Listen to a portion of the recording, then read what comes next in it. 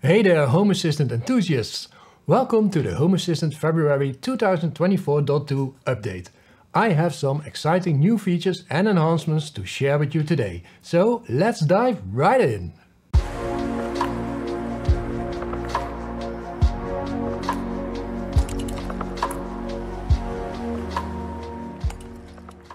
The new February version 2024.2 of Home Assistant will be released on the first Wednesday of February.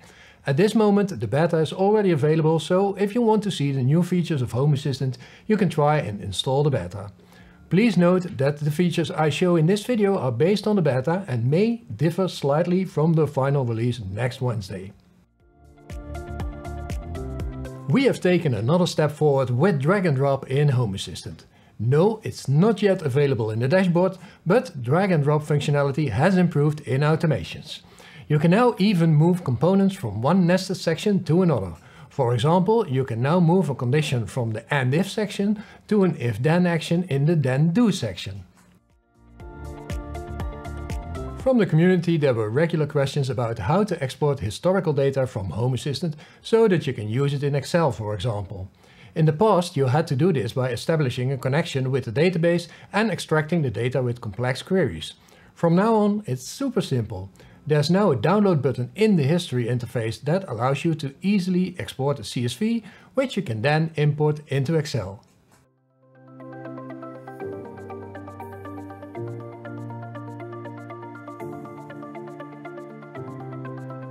This change happens completely automatically. Home Assistant now runs on Python 3.12. What you will particularly notice is that Home Assistant runs faster. If you have no idea what this is about, you don't have to worry about it. It's mainly interesting information for technicians. ZHA or Zigbee Home Automation integration in Home Assistant now also provides update entities. This means that you can now update the firmware of your Zigbee devices from within Home Assistant when using ZHA. It was already possible to do this through a setting in the configuration.yaml, but now it can also be done directly from the device itself.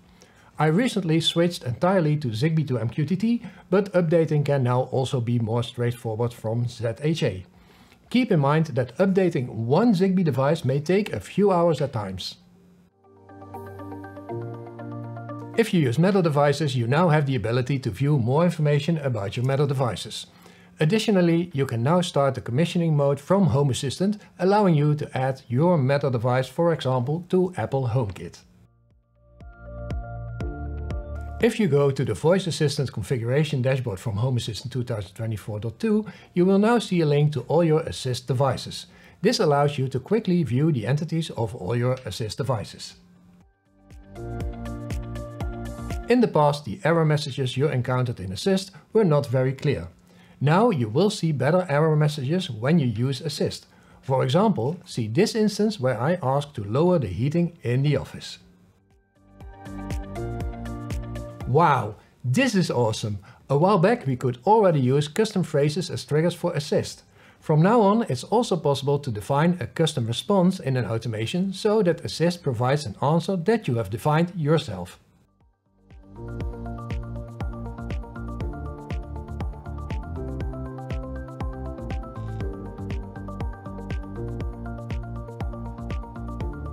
Well, it seems that this change doesn't do much at all, but nothing could be further from the truth.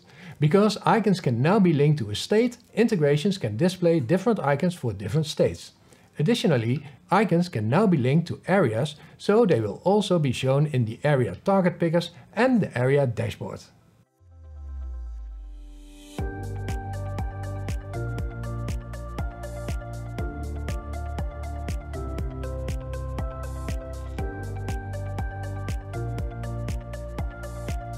In the past it could happen that an integration stopped working because something went wrong with the authentication.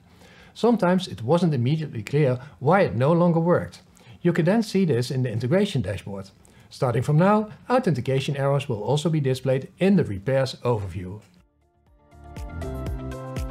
These were the major changes in the February release of Home Assistant 2024.2. Additionally, you can find the noteworthy changes in this list. The link to this list is available in the description of this video. A useful new addition is that you can now invert the status of a lock, cover or valve when changing the type of a switch. And of course, a bunch of new integrations have been added to Home Assistant, as you can see in this list. By the way, the proximity integration is now fully configurable through the user interface as well. Always ensure you read the breaking changes for each release which you can find in this list. Make sure you read the breaking changes before you update or you might run into trouble. Thank you for tuning in. If you value my content, kindly consider supporting me to ensure the continuation of this channel. Links to my Patreon, Ko-fi and channel membership are provided in the description below.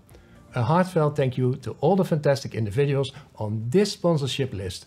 Your support is crucial in maintaining the channel. I appreciate each one of you.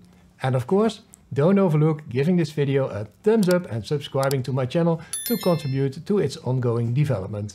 I'll see you soon in my next video. Bye bye. Oh man. Okay. yeah, we're taking another step forward. In the history interface, in the history interface. History. What you will... Oh man! Oh, why is everything automated in this house? uh, my covers were just going down. Uh,